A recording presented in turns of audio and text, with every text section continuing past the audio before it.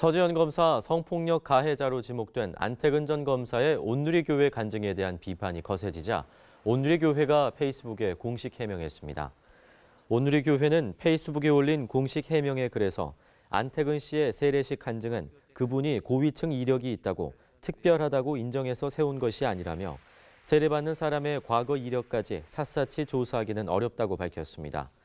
오늘의 교회는 또 안태근 전 검사가 어떤 위치에 있던 사람인지 검찰에서 그만둔 사실도 전혀 몰랐으며 안 전 검사가 간증을 하고 다닌 것이 아니라 매월 있는 세례식 때 간증 대표자로 선정된 것이라고 해명했습니다.